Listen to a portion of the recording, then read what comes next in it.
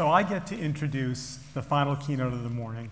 And I have to tell you, it's incredibly exciting, and I'm incredibly proud to introduce Heidi Boisvert, Dr. Heidi Boisvert. I, I actually know her before she was Dr. Heidi, but now she's got a big fancy title, and you'll see why.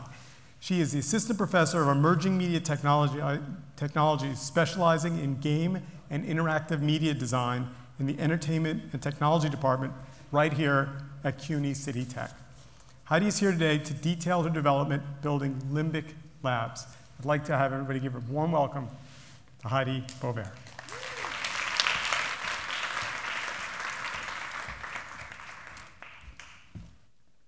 Hello. Good morning. Hey, Jessica. um, before I begin, um, Justin asked me to say a little bit about City Tech and the program that I run. And as I was sitting in the audience, it reminded me a bit of a story. Um, so I, I, attended my first uh, honors convocation this year at City Tech, and I sat right over there with my colleagues.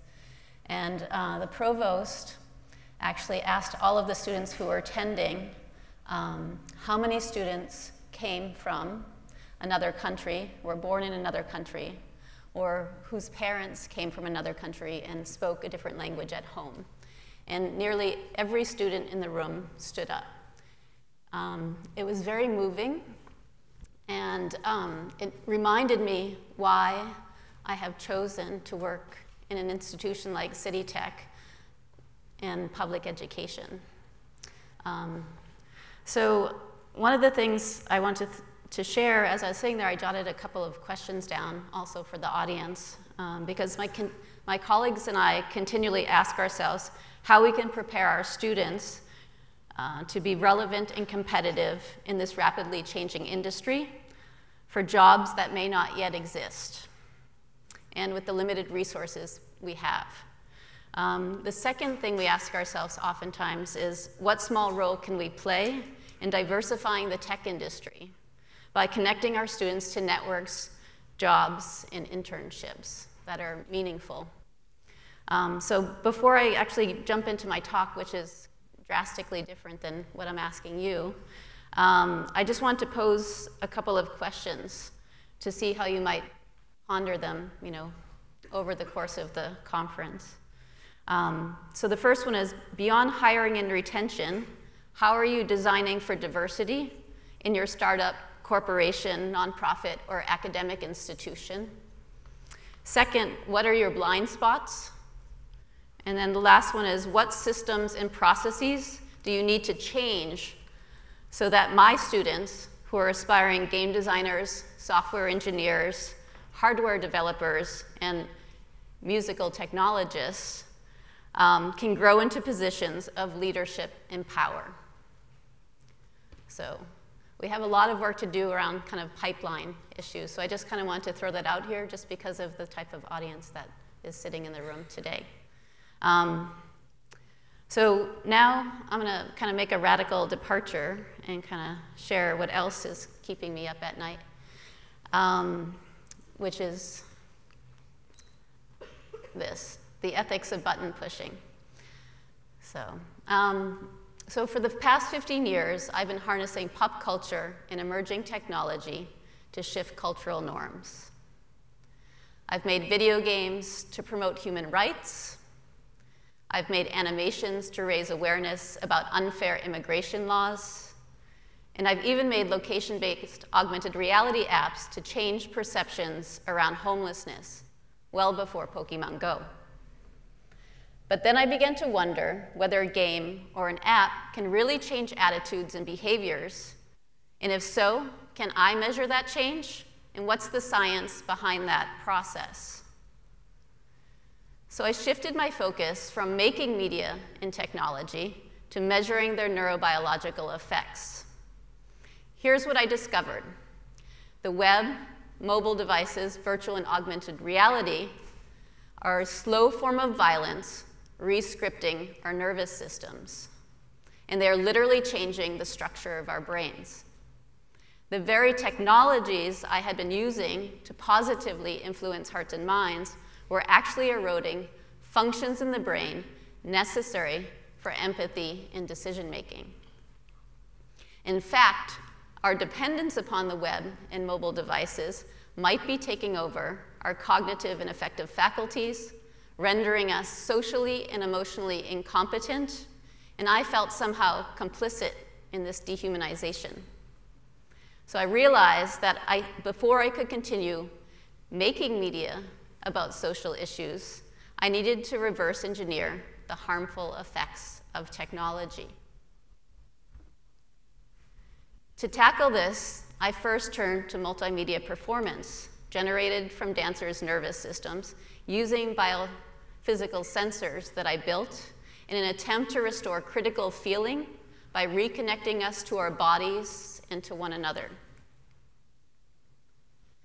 But then I began to dig deeper. I asked myself, how can I translate the mechanisms of empathy, the cognitive, affective, and motivational aspects, into an engine that simulates the narrative ingredients that move us to act? Inspired by the British cyberneticist, I decided to build a machine to answer this. So, um, for the past several years, I've been developing an open source biometric lab, an AI system, which I call the Limbic Lab. The lab not only captures the brain and body's unconscious response to media and technology, but also uses machine learning to adapt content based on these biological responses.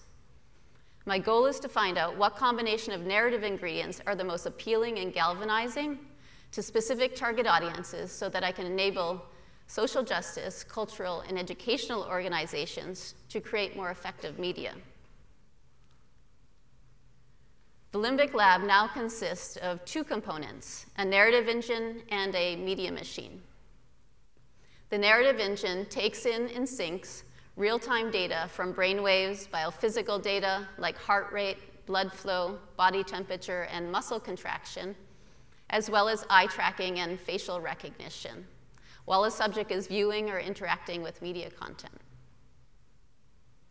Data is captured, however, at key places where critical plot points, character interaction, or unusual camera angles occur, like in Game of Thrones' Red Wedding when, shockingly, everybody dies.